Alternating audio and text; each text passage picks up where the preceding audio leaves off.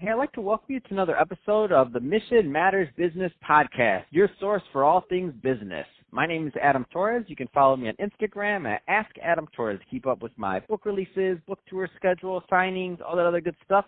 Always love to connect with you there. And as always, if you'd like to apply to become a co-author of one of my upcoming books, just head on over to the website, moneymatterstoptips.com, and click on Become an Author to apply.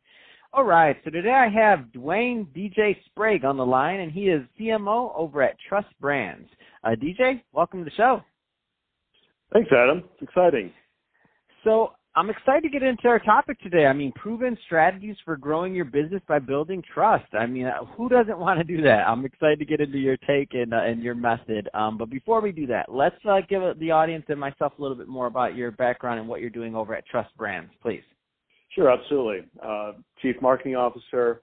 Uh, Trust Brands is really a umbrella company for four different SaaS-based technology tools all help build trust and credibility for brands. Therefore, Trust Brands made sense as the uh, umbrella brand name because everything we do drives trust on behalf of our clients. Trust being the most important critical decision making factor in any purchase decision. So without trust, nothing happens. I love it. Um, I'm a fan of branding. I'm a fan of how you're doing it and what you're doing, and I think it's a great um, transition. Let's just get right into the topic. So, three proven strategies for building trust. Um, where do you want to begin? All right. Well, let's start with flipping the question. When you're looking to buy something online, Adam, I'm sure you do a lot of that. We all do. Absolutely. What do you look for? What, what um, I look, for? I, I like reviews. I look at a lot of reviews. I do. Um, that's one thing I look at before I um, before I buy something. I'm like, uh, Amazon has all my business, and if I can buy it on Amazon, I'm going to do it immediately. I don't care. And uh, yeah, I look for some reviews. Okay, well, you're not alone. National research says that 95% of shoppers read online reviews before making a purchase.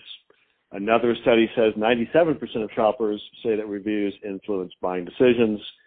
And third uh, study says that 72% of consumers don't take action until they've read reviews. So reviews are huge. Nobody goes to a restaurant, nobody buys a car, nobody buys a pair of shoes until they read customer reviews, right? I mean, that's just mm-hmm. what we've become conditioned to do. So strategy number one is what we call social proof.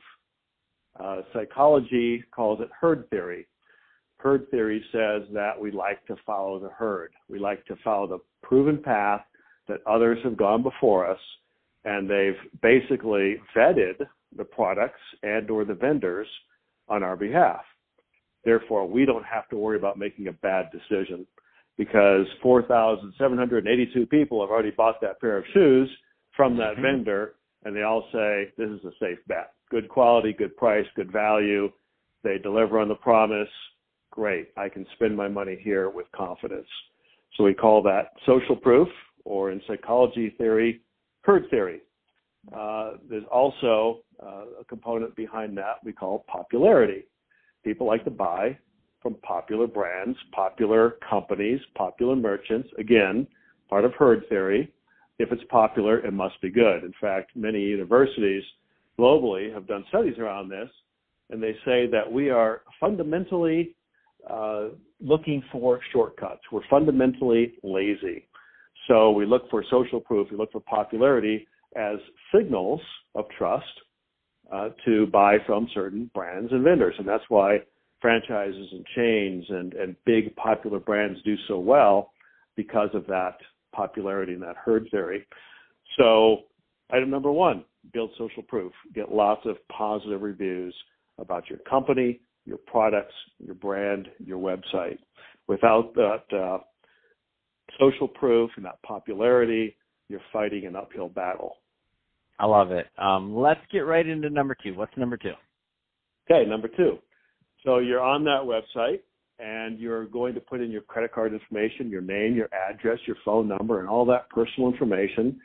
Gives you a little bit of heebie jeebies, and you start to mm-hmm. wonder is this a secure website? am I going to get scammed? Is somebody going to skim my credit card? Is somebody going to steal my personal identity? Right? Mm-hmm. So what do you look for? Uh, I look for maybe a secure credit card graphic that they could have copy and pasted, and I don't know. yeah, that's right. I'm just being honest. I'm just being honest That's here, right. DJ. You asked me. I'm going to be honest with you. well, the, the, the truth is, we all do, right? I mean, and you look at that thing and like, okay, well, they could have copied and pasted that little icon. What do I know? uh, but, you know, there's, there's pretty smart people out there. But you're right. You're absolutely right. They look for that secure uh, website security seal. So one of our products is TrustGuard. The beauty of that is it's got a little pop-up. You can click on that. It'll actually tell you uh, that this is an active website that has been scanned that day for malware and, and viruses, et cetera. So you know that that website is current to date, uh, and it's not just a uh, icon that somebody scraped and pasted on their Mhm. website because this is an active icon. You can actually click over and see the security seal, which is housed on our website. So it gives you that sense of security. Again, we're looking for mental shortcuts. We're looking for ways to expedite a fast, easy, confident decision. So we look for the social proof, and they would look for a secure website, a secure checkout process.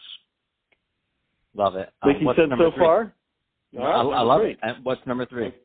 Number three, you've got to get a lot of reviews. The more reviews, the better. Why? Because if you have a lot of reviews, you can afford to then distribute those reviews onto multiple review platforms. Google's great, but you got to go beyond Google because people, especially when they're getting into specialty items and expensive items, they're going to do their homework. They're not going to take just one site's word for Mhm. it. They're not going to just look at Google reviews or just Amazon reviews. They're going to look at multiple review sites. They're going to look at, uh, you know, Dealer Rater. They're going to look at uh, Consumer Affairs. They're going to look at Pissed Consumer. They're going to look at uh, Yelp. They're going to look at Amazon. They're going to look at your own website reviews. They're going to look at multiple sources to look for a continuity in the story. They're going to make sure that what they're seeing initially is replicated on other sites across the web, right? And I'm sure you've done the same thing.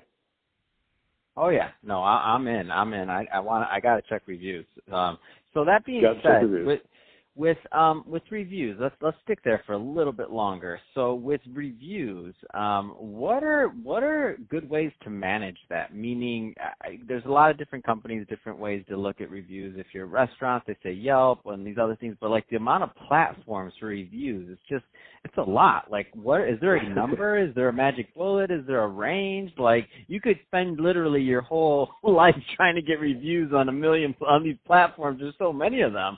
Um, what, Yeah, what's your thoughts on that? Is there like is, is is there a thought on that?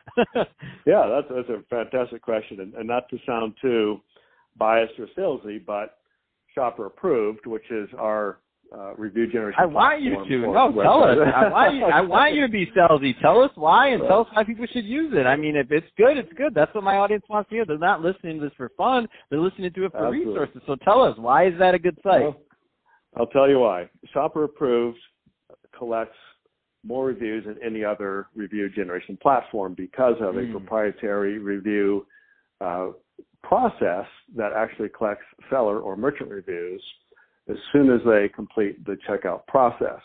So as soon as they do that, they get a pop to ask for a review. The beauty of that is it generates eight to 40 times more reviews than any other review generation platform.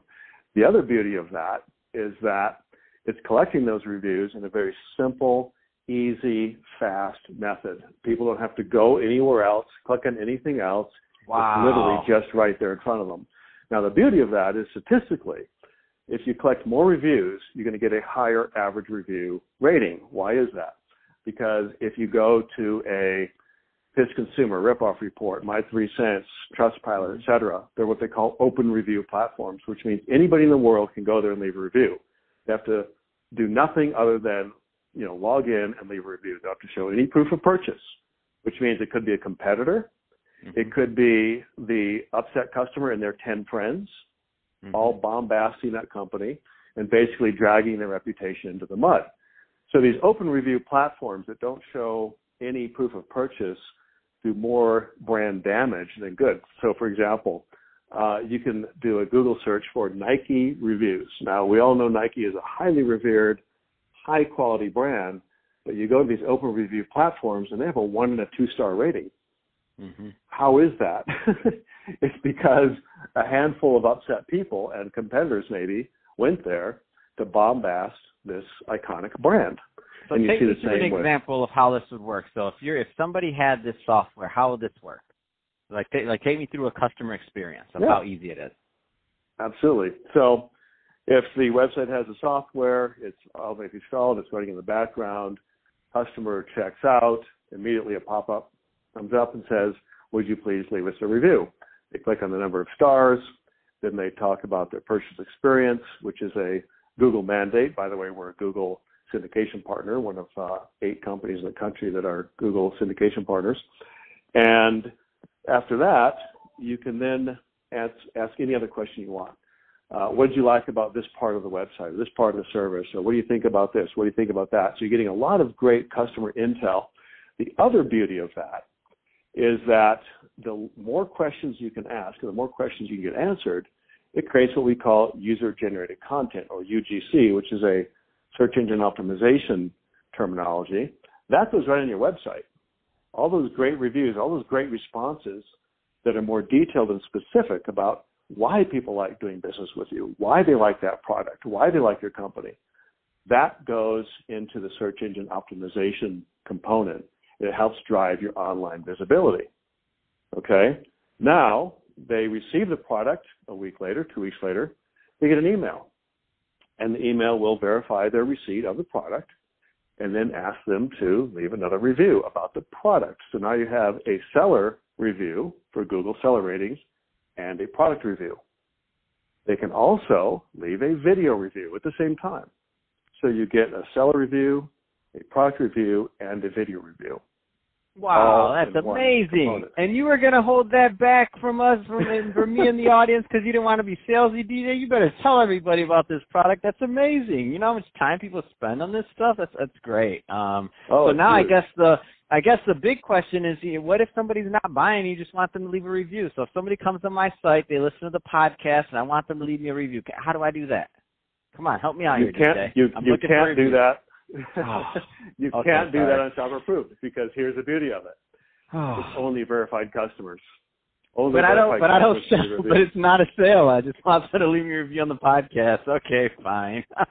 well, that's the, the reason for people that are selling stuff, but for people that that's aren't, right. okay, I got it. All right, no, that's it's right. okay. It's okay. I'm gonna. I'll find something to sell on my website so that I can use your software. I like it either way. I'm in. Um, so DJ, if somebody is listening to this um, and they want more information or they want to connect with um, with your company, um, what's the best way for them to learn more about uh, Trust Brands? Trustbrands.com. So you go to trustbrands.com, you'll see all of our four companies there. You can link out to the individual product websites, sign up for free trials, demos. Uh, we're happy to answer any questions, you know, send you overview videos, we even have a free ebook on local reviews. So if you're a brick and mortar company or a retail company, uh, we have another product for that called Local Reviews and a ebook that's titled The Impact of Local Reviews on Profits and How Do You Use Reviews to Drive uh, Traffic to Your Retail Store. Fantastic. Well, hey DJ, it's been awesome having you on the show. Um, great times here, and love the work that you're doing over at Trust Brands. Um, so good stuff there for your clients. And to the audience, as always, thank you for tuning in. Hope you got a lot of value out of this. If you did, don't forget to subscribe to the podcast, uh, leave me a review on the Apple iTunes Store. Uh, if you're if you're watching this on our YouTube channel, Mission Matters Business, uh, leave us some comments on the video. I want to hear more about what you thought, but I also want to hear what you think about our discussion today. So reviews, social proof, um, secure process. Let us know about what you think there, and I'd love to keep the dialogue going. Don't don't let it die here. Let's let's move it to the YouTube community. And uh, DJ, thanks again for coming on the show.